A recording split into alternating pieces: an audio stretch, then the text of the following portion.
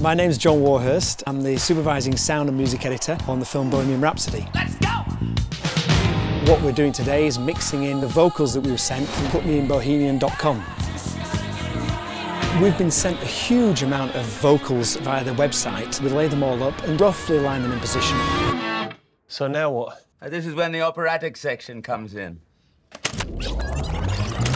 Mama just killed a man. These are all the individual Put a gun vocals. against his head. Pulled my trigger, now he's dead. First, we thought there were one or two that might stand out, but actually, once you start layering up thousands and thousands and thousands of voices, then everybody sort of sinks into a general bed, which would sound like this.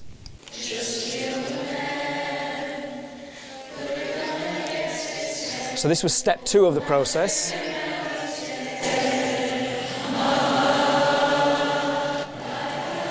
And this is all the bouncers mixed together. And then what we would do is line them all up and add them into the actual track. Just